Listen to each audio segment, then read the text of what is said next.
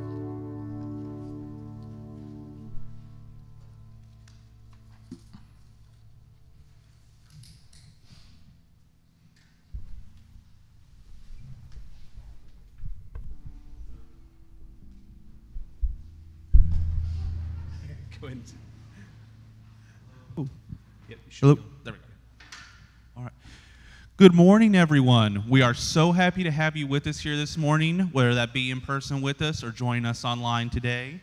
Um, I would like to um, just encourage you for a quick moment to, um, whether on your phone or online, take a moment. Please fill out your connection card. Let us know you're here and worship, worshiping with us this morning. Uh, really helps us out. Um, all right, so a couple little announcements here. Um, want to know that Timothy Team and Basement are both now back up and going. Um, they're both in the fellowship hall. Uh, the Timothy team starts at 5:45 and Basement starts at 6:45. So we're glad to have those uh, programs back up and going. I um, also want to say today is the last day that we can bring the gifts to uh, bless our teachers. Um, they are going through so much right now with new ways that they have through their curriculums that they didn't plan for. So anything we can do to help bless our teachers and let them know they're appreciated is a major blessing. Um, and that will be to the missions table in the narthex. And all right, so we'll open up to joys and concerns this morning. Yes.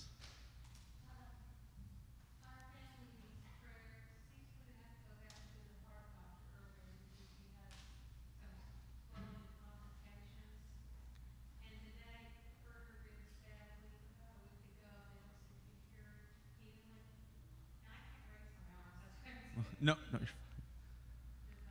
Mm-hmm. Gotcha. All right. So, prayers for healing and wisdom with doctors is. Yes.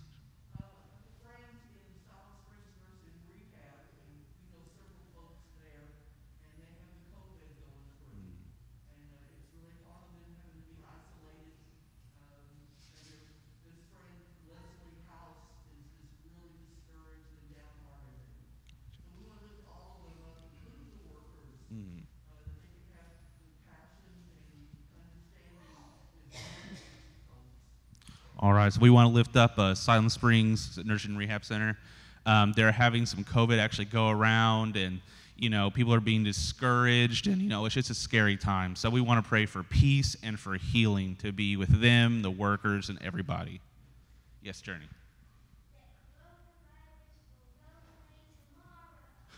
Amen. uh, a prayer I think we all have on our hearts is that we want this thing to just, we want this to go away and we want to get back to normal. Amen. Yes. Um, son Ian had knee surgery. So Ooh. his prayers for patience as he heals. He's really anxious to get back to football. Don't want to make it worse. Gotcha. All right. So, neighbor, uh, knee surgery, some healing. All right. Yes. Wow. All right. Well, that's a great celebration. Yes. All right. So, prayers for healing. All right. All right. Well, let's take these uh, joys and concerns to the Lord in prayer this morning. Lord, we thank you for your glorious love and mercy that you show upon us each and every day, even in these uncertain times. I ask that you be with the members of the congregation this morning, that we have so many prayers for healing and medical issues. We know you can work miracles within those, that you can bring peace, comfort, healing, wisdom to doctors, and comfort to families that are going through these things with their family members. I want to lift up the uh, Siloam Springs Nursing and Rehab Center for those people in there that you know maybe sick with this new illness. That there's a lot of fear going around. That once again praying for peace and for wisdom for them and their families, and for the workers that still go every day into this environment to help those and care for those in need. That they will be protected as they're doing such a good work for those uh, people. Um, I ask that, you know, as we're going through this time of the coronavirus, as uh, our journey brought up, that we know this will come to an end and that we will see your glory come and shine through it. I ask that you give us all the strength and the perseverance and patience to see through this and know that you are with us, even in these very uncertain times. In Jesus' name we pray. Amen. And then I'll pass it off to Clark for the mission moment this morning. Thank you, uh, uh, Tyler. I want to just uh, take a moment and, and just um share with you just a, a little bit about um, how, um, just how proud and how excited I am about the faithfulness of this church. So, uh, uh, last week we, we closed the end of, of August, and, and typically when we come into the, to the summer months, um, you know, they tend to be a little bit softer in giving and everything. People are kind of on vacation, doing things like that. And, and, and June and July were, were soft months, but, but, uh, but really this church has turned out. And in August, uh, not only did we meet uh, the budget, but we went, we went above what we met for the budget, and um, we, we made some ground. And uh, um, we're, we're in the black for probably the first time I can think of in after August and stuff. And so, uh, thank you so much for your faithfulness. Thank you for for continuing to give, and thank you so many of you who are online and have not set foot in this church since March for continuing to be faithful in your tithes and your offerings. And so, thank you, church, um, for, for taking seriously our vows of prayers, presence, gifts, service, and witness. And so, I just wanted to update y'all and let you know. Uh, that being said, um, it's a new month and that means we need to continue to stay uh, stay with it and continue to be faithful throughout, and so we can finish this year in a good situation. So thank you again. Um, speaking of which, on the screen uh, you should have uh, different ways that you can give. Uh, if you are not here, uh, you can mail your checks or your money to the to your offering to the church. You can also go online on the web. You can text it to 479 334 0888. And that goes for everyone who's gathered here today. You can give in all those three ways, as well as as you leave this uh, this morning, um, you can place an offering uh, in the box in the back, and uh, we'll we'll get that taken care of. And so we want to again thank you for being faithful, and also I want to just uh, give a little plug. Um, be on the lookout next week. Um, I'm going to share. We're going to share a little bit about ways that you can support the relief efforts for Hurricane Laura. Um, uh, several people have asked about how, how can we do that, and most of the time we want to encourage people to go to UMCOR, the United Methodist Committee on Relief, and so we'll have some information next week on if you want to uh, support the relief efforts uh, through UMCOR to take care of her, uh, folks who've been impacted by Hurricane Laura. So be on, uh, be uh, be tuned. Stay tuned for that. Let's let's pray over our offering. Most gracious and loving God, Lord, we give you thanks for, uh, for this day and for the faithfulness of this church. We just pray that you will continue to bless us as we continue to, uh, to seek to be guided by uh, your vision for this church, uh, that we strive to be a Christ centered church, a caring community, growing deeper in faith, reaching out in love, and making a difference in the, in the lives of our neighbors near and far. Thank you, Lord. Be with us now. In Christ's name we pray. Amen.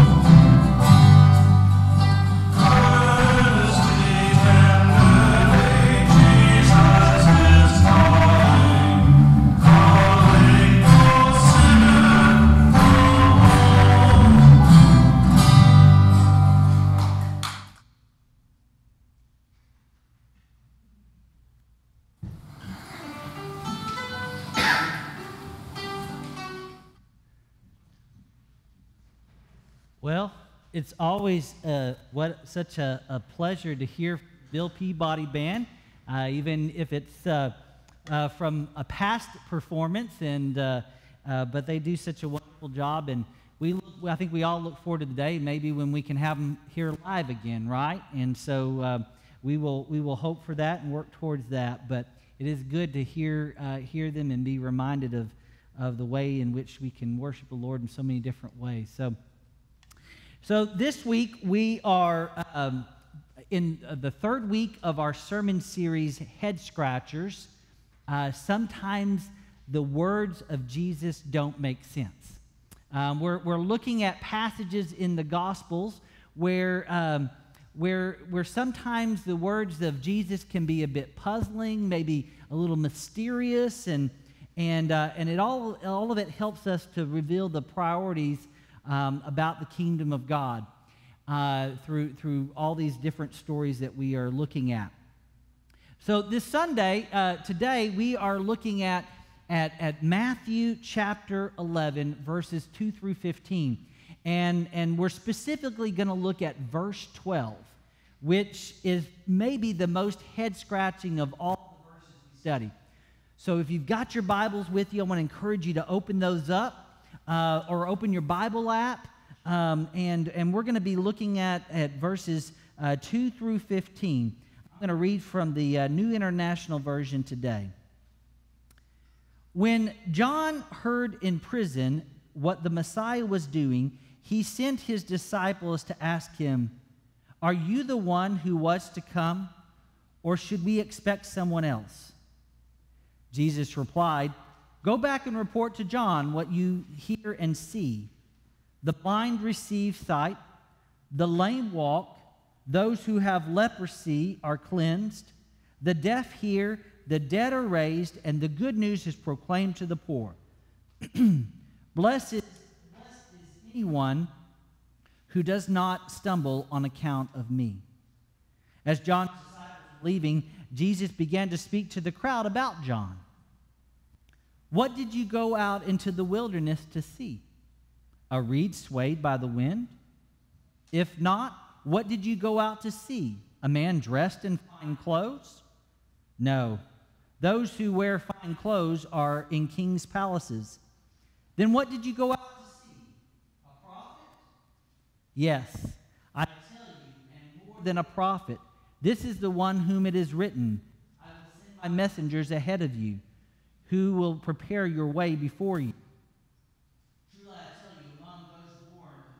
There has not risen anyone greater than John the Baptist. Yet whoever is least in the kingdom of heaven is greater than he. From the days of John the Baptist until now, the kingdom of heaven has been subjected to violence, and violent people have been it. For all the prophets and the law prophet, prophesied until John. He is the Elijah who was. Whoever has ears, let them hear. This is the word of God for the people of God. Thanks be to God.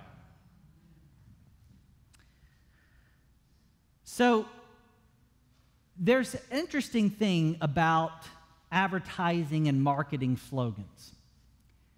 Sometimes you may have the best, most spot on advertising slogan. You might have an advertising, a slick advertising firm uh, lined up to sell it, and you can do everything possible for it to be successful. And it might be successful in one location, but then when you try to translate it into a different culture or into a different language, sometimes it just doesn't work. Let me give you a few examples. Take KFC for instance. We're all familiar with the finger licking good, right? Well, you probably don't want to say that in China because it translates as we'll eat your fingers off. or what about Green Giant? Remember Jolly Green Giant? You might scare off a few people in Arabic because it, it, it translates as intimidating green monster. Or what about Pepsi? Alive with Pepsi. Man, that's a positive uh, uh, message, right?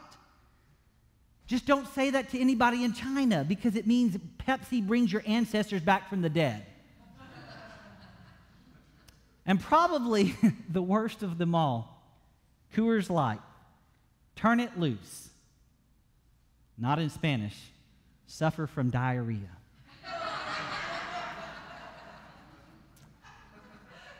Some things just don't translate.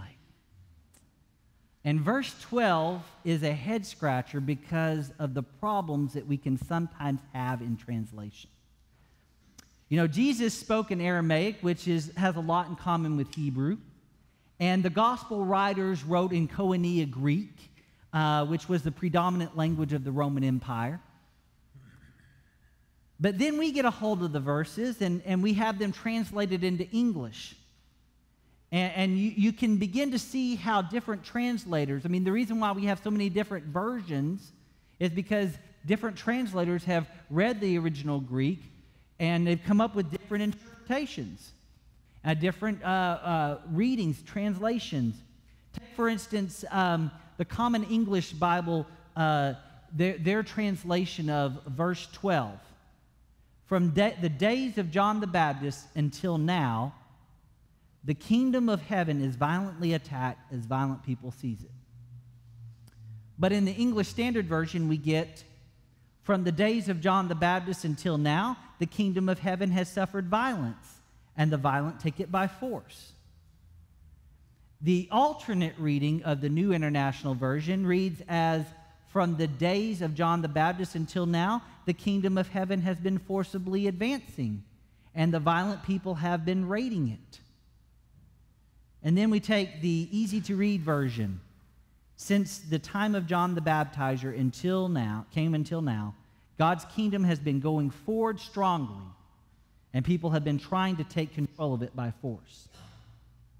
So, in, in some translations, the kingdom of heaven is violently attacked or subject to violence, while in others, the kingdom is forcefully advancing or forcibly injured. That's not the same, is it? So, what's the problem? Part of the reason it's so hard to completely agree on the sense of this verse is because it was, it was the way it was written in Greek. You see, in the original, uh, the original language, the phrase can either be translated in an active or in a passive sense. And so, an active interpretation would lead us to this idea of the kingdom forcefully advancing, going forward. Whereas a, a passive interpretation would lead us toward the sense of the kingdom being violently attacked. So, if, Greek is hard to understand here, then how can we today get a sense for what Jesus is getting at then in this verse? Which is it? Attacking? Is it advance, being attacked or is it advancing? Well, as I said before, the, one of the most important things we can do in, in our study as part of our Bible reading is the context, is understanding context. Verses don't appear in a vacuum. They're a part of a, a, greater narrative. And so to understand it, we need to understand the narrative. We need to understand what's going on. And so uh, this whole context of our scripture this morning takes place with, with John the Baptist. He, he's in jail, okay? And, and John has been in jail for, for quite some time. In fact, he's been kind of wasting away for months. And, and so he was imprisoned by, by Herod Antipas uh, because John had been criticizing the marriage of, of Herodias, um, uh, who was Herod's brother's wife. Um, and so, so just Antipas had, had divorced his first wife, and, and Herodias had basically left uh, her husband for, for Antipas and had married them. And so John the Baptist stepped right into a first century soap opera and inserted himself and got thrown in prison as a result. He's been this bold prophet preparing the way for the Messiah. And so imagine if you have been doing everything you were supposed to do, you've been preaching the gospel, you've been preparing the way, and all of a sudden you, you, you get thrown thrown in, in, in prison and you're just sitting there. He's likely discouraged, possibly because of his long imprisonment and because Jesus had not acted in the way that he, was, he expected. See, he was the last in the line of Old Testament prophets. In fact, Jesus calls him this great person and, and identifies him as a prophet like Elijah who would call people to repentance and, and help them to prepare the way of the Lord. Yet, John, like the disciples and, uh, and other people in Jesus' day, they expected Jesus to, to be more of a political leader.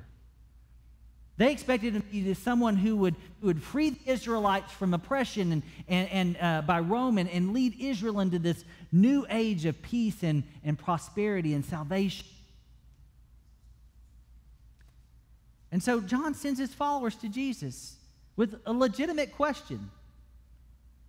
He asks him, Hey, are you the one we should expect, or, or should we be waiting for someone else? And so John, J- Jesus answers John's questions not with some vague set of promises. Rather, he, he gives them observable facts. Jesus says to John's disciples to go back and report to John what you have seen and heard. In other words, the blind see, the deaf hear, the lame walk, the leprosy, those with leprosy are cured, the dead are raised, and the kingdom of, of the gospel of the kingdom is being proclaimed. Jesus is giving John evidence that the new age of healing and salvation is being established, embodied in the ministry that Jesus is doing. In fact, Jesus identifies his ministry in Luke 4, uh, verses 18 and 19. And so, what verse 12 here makes sense when we look at it as in the context of Jesus' message to John. We, what we're hearing is we're, we're, we're listening in on his words to John to let John know hey,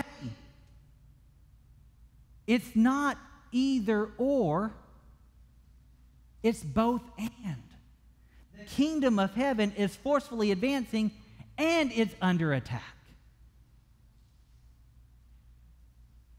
In fact, Jesus even alludes to this in the Sermon on the Mount. He says, Blessed are those who are persecuted for righteousness' sake, for theirs is the kingdom of heaven. Blessed are you when people revile you and persecute you and utter all kinds of evil against you falsely on my account. Rejoice and be glad, for your reward is great in heaven. For in the same way they persecuted the prophets who were before you. Those who are ambassadors for the kingdom of God, those who are agents of the kingdom, will always be subject to misunderstanding, always subject to alienation and violence. Jesus, our Lord, will be brutally executed. John will be beheaded.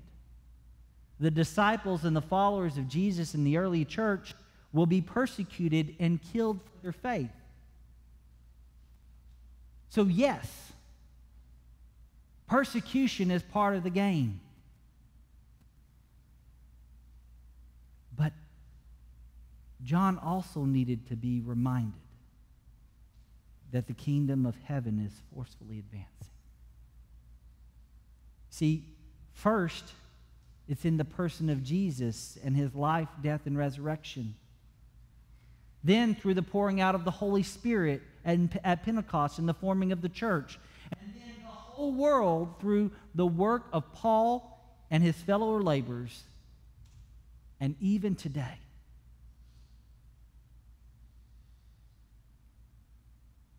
It's not an either or situation. It's not just an active or a passive sense, it's both. Both are valid interpretations, and both have implications for us as followers of Jesus. See, as followers of Jesus, we can expect suffering. As followers of Jesus, we can expect to be mischaracterized, even persecuted for our faith. The world is steeped in darkness, and, and, and those who worship God are often uh, described as the problem. And as followers of Jesus, we need to expect that those attacks will happen and not be surprised or dismayed by them. It happened to Jesus, and it can happen to us as Jesus' followers. But also, we need to open our hearts. We need to open our hearts and allow the kingdom to forcefully advance into it, advance into our lives. We need to ruthlessly eliminate anything and everything in our minds and our hearts that not, is not of the kingdom. Jesus said, And if your right hand causes you to sin, cut it off, throw it away.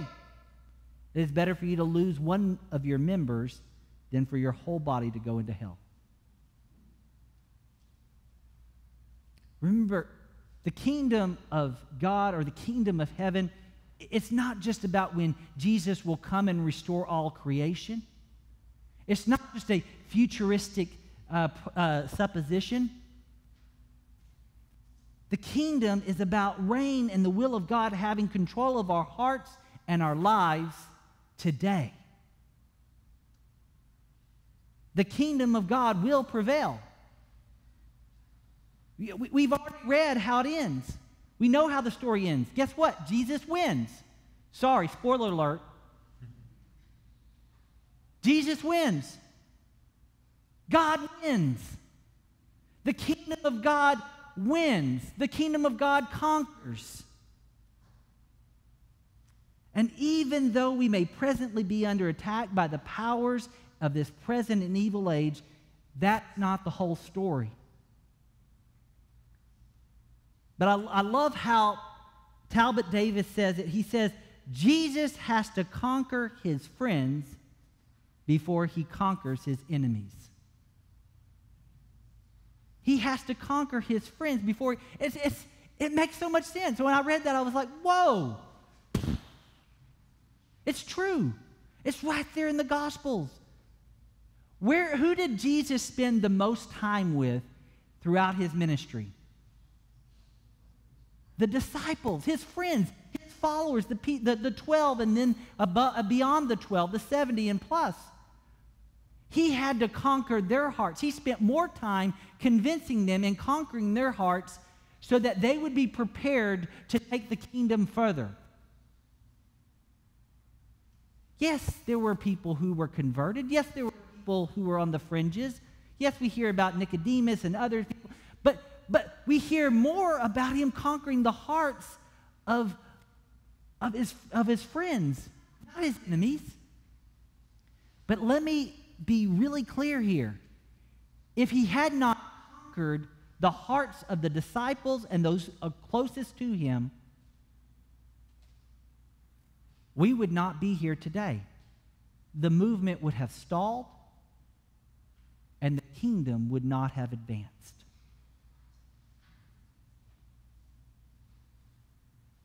If we want to be serious followers of Jesus, then it starts with ourselves. It starts with allowing God to forcefully advance into our lives through Jesus Christ. Some of us here, some of us online, may consider ourselves admirers of Jesus or even friends of Jesus. But we have to ask ourselves have we given everything in our lives completely over to Jesus? Have we allowed Him to conquer our hearts? So that we might share the good news with others and their hearts be conquered too. I want to share this last story as we close out. You know, Dr. Phil Meadows is a professor of evangelism and missional study communities at Asbury Theological Seminary. And he shared his faith story in a recent uh, episode of, of the Plain Truth podcast. He talked about coming to faith as, as kind of a gradual process. In other words, a gradual conquering of his heart by Jesus, and how, how he experienced the person of the Trinity Father, Son, and Holy Spirit. He shared that he was just getting out of university when, when he uh, considered whether or not to do a doctorate in, in chemistry. Uh, he wasn't sure what he was supposed to do. So, so he goes out into northern uh, Irish countryside near where he had grown up, and, and, and he sat down on an old stump. And he began thinking and considering what he, could, what he should do. And he describes how he had an amazing time of intimacy with the Holy Spirit. It was, it was a, a powerful and beautiful time. And he said after that experience with God, he still didn't know exactly what he should do, but he realized he did not care. You see, he, what he wanted at that point then was to continually grow and to live into this close relationship with God. He wanted God to continually conquer his heart. He wanted to surrender more of who he was so that he could be who God wanted him to be. And I believe, friends, that that's what God is calling each of us to do. He's calling each of us to surrender our lives to him. See, God doesn't need any more admirers. What God wants is fully surrendered followers to suffer even violent attacks in order that good news might be forcefully advanced in our own lives and in the lives of others. Would you pray with me? Oh, gracious, loving God, Lord, we give you thanks that we can be gathered here today and to hear your, your, your good news, that what you want from us is not simply our admiration and our and our and our and our, our, our willingness to hear your words and, and to try to live by uh, your precepts. Lord, what you want is, is, is, is us. You want us to surrender our lives and our hearts to you. You want to conquer us so that we can be truly followers and agents of transformation in this world. Lord, we know that there will be times when we are going to be attacked for our faith. And that can be a scary proposition. But at the end of the day, Lord, you win. We know that. So help us to remember that. Help us to hold on to that. And help us to open our hearts and our minds and our lives to you, to surrender them to you that your kingdom may advance forcefully into this world. In the name of the Father, and the Son, and the Holy Spirit, we pray this. Amen. You know, one of the ways in which God enters our lives and reminds us of his presence is through the celebration of his meal, his supper.